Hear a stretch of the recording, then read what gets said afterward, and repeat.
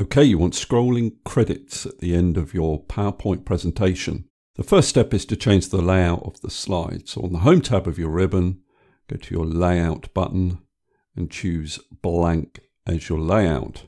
And then if you want to change the background color of your slide, go to the Design tab, go to Format Background, and here you can choose the background color. I'm going to choose black. Then you want to insert a text box. So you go to the Insert tab on your ribbon, and there's your text box button. And you draw a text box in your slide. Then you want to paste your credit text into that text box. You can change the alignment of the text by selecting it. So if I click into the text box, Control A, Then I can change the alignment here. You'd normally want it center aligned. You can also change the text color. I've got the text color as white. Then you'll want to center the credits on the slide.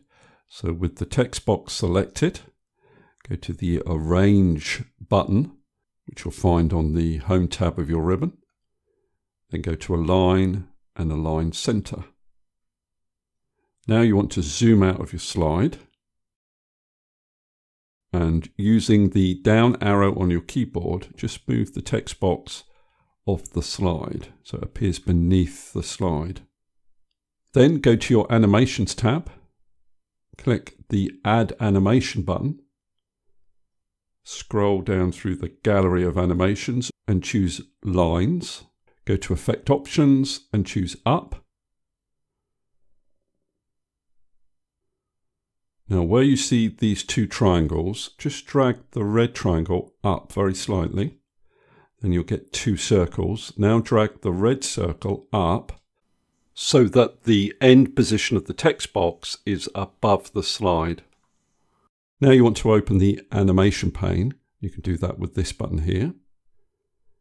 You can see the animation that we've created here for the text box. Go to the drop down menu button there, go to effect options, and decrease the smooth start and smooth end to zero.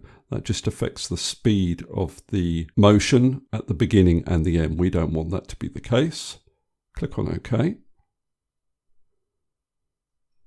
Next thing you want to do is change the start setting from on click to with previous.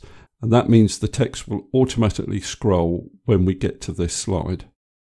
Next, you want to change the duration so at the moment it's set as two seconds, which will mean the text will scroll very quickly indeed. So I'm going to take it up to about 20.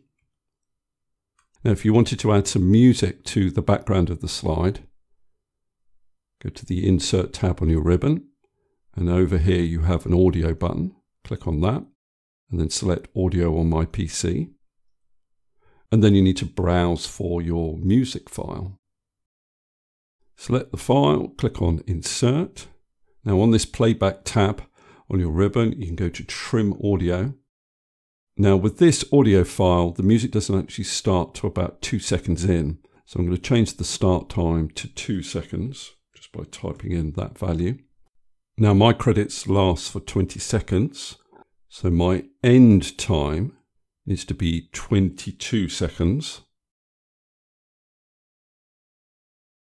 And then I can click on OK. And then I'm going to fade out the music. So still on this playback tab, I can use this fade out setting. And now I'm ready to zoom back into my slide. So I'm going to zoom back in and then I'm going to move this audio icon outside of the slide so it doesn't appear during our presentation. Your next step is to go over to where you can see the audio in the animation pane. Click on the drop down and select Start with Previous. And that'll mean that the scrolling text and the audio will automatically start when we get to this slide. So now I can go to the slideshow tab on my ribbon, click on From Current Slide,